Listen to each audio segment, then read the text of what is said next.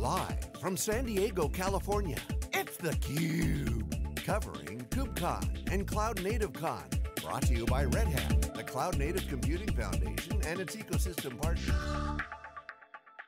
Welcome back. This is theCUBE's coverage of KubeCon, Cloud Native Con 2019 here in San Diego. I'm Stu Miniman co-hosting for three days with John Troyer to my left, and happy to welcome back to the program two of our CUBE alumni. To my right is Robert Christiansen, who's the Vice President of Strategy in the Office of the CTO with Good the Hybrid here. IT Group. Yep. Great to see you. And sitting next to him is Kumar Sreekanti, SVP and CTO of that Hybrid IT Group at HPE. Kumar, great to see you. Thank you very much. Thank you, John. All Thank- right. Good to be back here. So, Yes. hot off the presses, uh, HPE had a big announcement uh, today, uh, really unveiling its full container platform. Uh, Kumar, maybe uh, help us frame and understand uh, what that is and why, why that launch here at, at the show. Thank you, Stu. Good to, good to see you, John, and it's very nice to be back on theCUBE. Yeah, we are very excited. We made an announcement, uh, HPE Container Platform. As we said in the press release and the various conversations, this is built on proven technologies. HP has acquired few companies in the past, which includes my company, Blue Data, uh, MapR.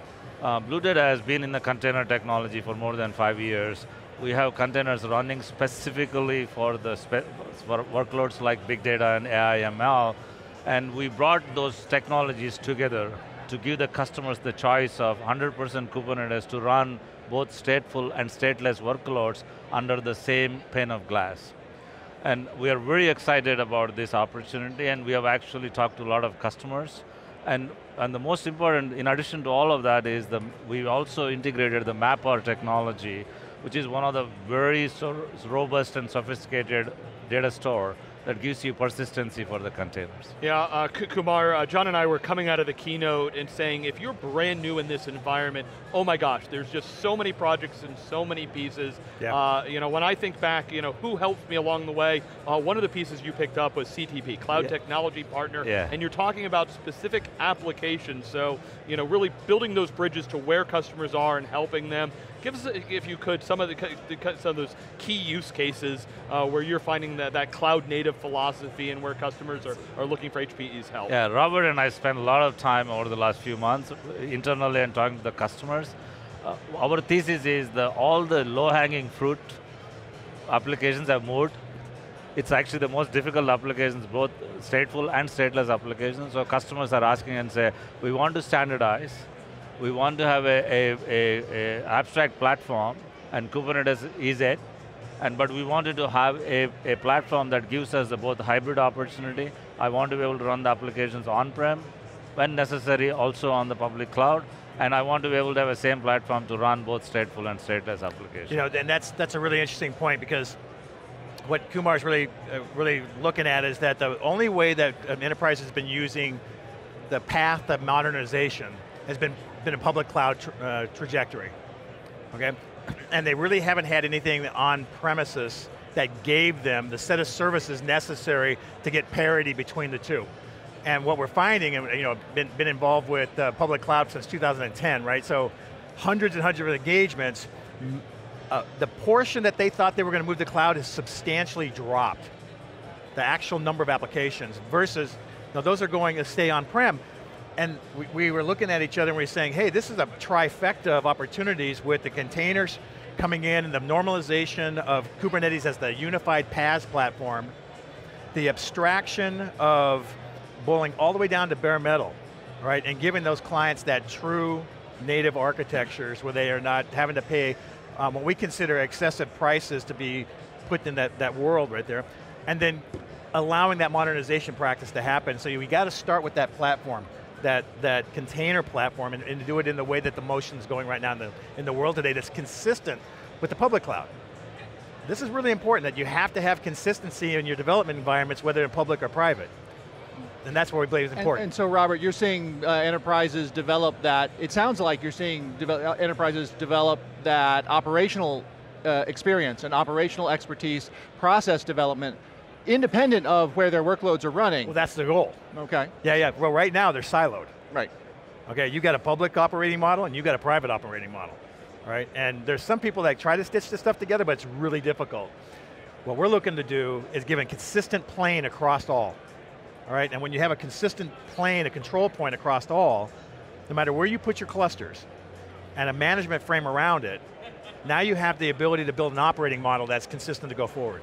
Okay, so you know we, have been at this show for four years. I, I interviewed Joe Beda, uh, and, and, and Joe says, he said, look, you know, Kubernetes, it's not a magic layer. It does not all of a sudden say add Kubernetes in it and everything works everywhere Yeah. there. No, Yeah. it's a very thin layer. I'm and glad there's he a lot that. of That work washes my car for to too, happen on top. Right, if the problem, just rub some Kubernetes on it, Yeah. it'll get better. So Kumar, help us understand kind of the HPE stack, if you were, Yeah. and, and what you put together, and, and therefore it will be an enabler for customers and their applications. Thank you. That's a very, um, very well said. And uh, I, I joke that Kubernetes will wash your car and toast your bread and babysit. And um, so you- I, I think Joe is right. A lot of wisdom there. So what we found is uh, containers do not solve persistent storage problem per se. So if I want, if I have a database running and my container goes away, we also notice that you want to make sure your endpoints are well secured and you want to expose only things, whatever you want in the thing. We also found out that customers are more interested in applications, not giving me just the engine and the tires. I need to go from point A to point B. What Blue Data has done is actually, it actually automates all your deployments of your AI ML applications. We announced that product in September. So what, what, what this container platform does is bring all these pieces together so the customers to be able to move to the deployment and not worry about whether I have tires or I have an engine and all. In addition, I would like to point out that I think Antonio talked about it, our SAML, um, we want to come to the customers and say best possible, lowest cost workload per application. This is why we think bare metals are very, very, very important. Running containers on bare metal will remove your VM tags. And, and there is and, and we have been running bare metals in the, on uh, bare metal containers in the Blue Data for almost five years.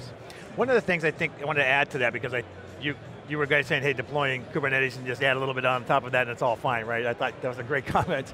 Um, a lot of our clients are literally talking about container sprawl, right? It don't take anything to go to cncf.org and pull down the Kubernetes distro, launch it out there, and I've got a bunch of stuff running. They're popping up faster than all the shadow IT did when the cloud, the public cloud started coming up, right? So you have this, this um, motion that's uncontrolled. And if you're an enterprise and you in governance and you're trying to put your arms around a global infrastructure like that, you want to be able to put your arms around that. More importantly, you may have one group running 1.15, you may have another group running 1.8, you may have two other groups that have an older version that's into production right now, and you have them all independently running, and then you need to maintain a multi-tenancy across all of that, and then separate those. Okay, you have to have a system that does that, and so the container, HPE container platform does that. This is a huge differentiating with a consistent data layer underneath. And that, that abstraction between the two and that governance around it is so much bigger than what we consider just Kubernetes on its own and that world on its own. Right, right. Well, I, I, to play on that, right, uh, we used to say, talk about PaaS a lot, right, and, and a lot of words were spilled. I, I, what I love about some of the work here is that it comes from actual use, you know, proven in production use Yes. cases, years of work, you, you, the rough edges, the, Yeah. the, the sharp, the, the cuts on your hands. Yeah. Um, so that's actually great. All open source also, and, and, and contributed back to the community, also interesting. There is a, um, you know, but as, as, so as folks, and there's many ways of getting Kubernetes, raw Kubernetes, Kubernetes with pieces uh, in this room right here. So, you know, an, an interesting set of, of, of technologies that you put together that with, for ease of use and for, for governance and, you know, at, at, from the business layer, from the ops layer, from the, from the dev layer.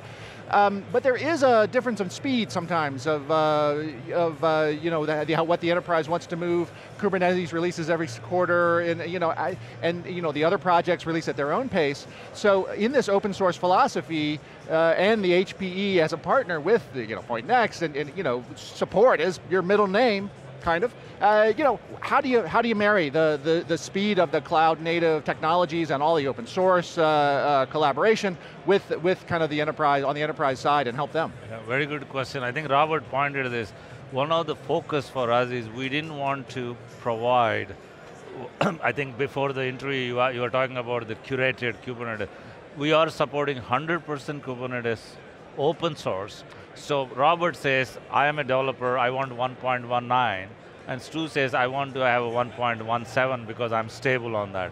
You can have both the clusters along with the Blue Data Epic controller clusters in the same pane of glass. Now you can run big data applications, you can run your cloud native, you can run your cloud native because you are on 1.19. So that is our goal. So when the CNCF releases newer versions, obviously the, we will support it.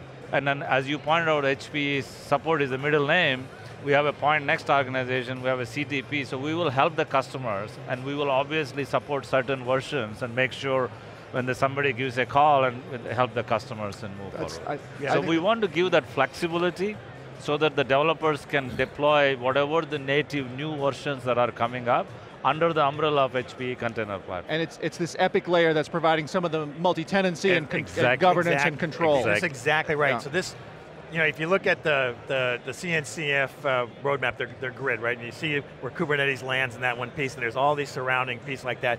There's so, lots and lots of vendors here that have pieces of it, right? But it takes a system, right, and you know that. And then it takes an operating model around that. Then it takes a deployment and governance model around that, right? And then you have, so there's so much more that the enterprise requires to make this a legitimate platform that can be scaled. That's what we yeah, find. One thing that I would like to add is, I, I don't want to underplay the, the, the value of a persistent, proven data layer yep. that has been there for 10 years with MapR. MapR runs some of the best and largest databases in the world, and we are now bringing those two together. It's a, it's a very, very profound and very, very useful for the, for the enterprises. Yeah, uh, Robert, you were emphasizing the consistency that needs to happen. Uh, explain to how that fits in with your partnerships with all the public clouds, um, because you know you hear a very different Kubernetes message if you go to the Google show versus yep. the Azure versus AWS, yeah, yeah. And, and, I see HPE, you know, at all of them. That, so. well, that's that's absolutely true. So you know, I, I was the CTO with Cloud Technology Partners, right? So I joined in 2013, and it was um, our our whole world was how do we work with the three hyperscalers to bring some consistency across them, right? You know, and you have operating models that are different for all three. I mean, what runs on AWS in a certain way is going to run differently on Azure, what's going to be running differently in GCP, right? So the tooling, all the, all the pieces are different. You go pull that back on-prem now, you have a whole different conversation as well. So what we know is that you have to have a unification of behavioral control systems in place for wherever you deploy your clusters, wherever that's going to be like that. So what we know is, is that the tagging nomenclature, the tagging is key to all of this operational models. All your tools are going to be using tagging. And when you go into existing environments, tagging will be inconsistent between, even with inside AWS, will be inconsistent within Azure. So you have to have a mapping. And so what we have as part of our GreenLake offering that would coming together with this, is we have a unification tagging layer that bridges that gap and unifies that into a consistent nomenclature and control plane that gives you a basis to have an operating model. This is a, this only gets exposed until you start having 20, 50, 100, 200 clusters out there and everybody goes, how do I put my arms around this? So it's very important that, that that's just one piece of it. But operating model, operating model, operating model. I, I keep going back to this every time. There's a bunch of people here who can spin up managed clusters all day long, and some of them doing better than others, but unless you surround it, and you surround it with the stuff that he's talking about as a consistent data layer, persistent, and a consistent management system of all these people's behaviors, you're going to get just an unbelievable out of control platform. Yeah, Kumar, uh, I'd love your viewpoint as to just the overall maturity of this ecosystem and where does HPE see their role as to, you know, we talked about, you know, data and you know everything that's changing. I heard a lot in the keynote this morning about uh, some of the progress that's being made, but would love your viewpoint there. Yeah, HPE is a legend in the valley, as you know. I mean, they've done, uh, every, in fact, we all engineering calculators starts with HPE calculators. HPE recognized they missed a couple of uh, transitions in the industry, and I think there's a new leadership with the with our, with the Robert and me and other other key leaders recognizes this is a great opportunity for us. We see this window to help the customers make the modern digitalization, transition the applications, taking the monolithic applications, doing microservices. You can, in fact, Robert and I was talking to a bank, and they told us they have 6,000 applications built. So far, they have microservice, four of them. And, and, and we have actually, what, what, what we believe with this application is you can actually run your monolithic applications in a container platform while you are figuring it out. Right. So what we see is helping the customers make the digital transition and making sure that they have, they make, they go down this journey. That's what we see. Kumar, Robert, thank you so much for the updates. Thanks for having us. Congratulations on the launch. Thank and you. Look forward to seeing your presence. Thanks for having, and Cube, I love Cube. Yeah, yeah, thanks, Jeff. Again, look for it next time, okay? All right. All right. Bye. Thanks so much. For John Troyer, I'm Stu Miniman.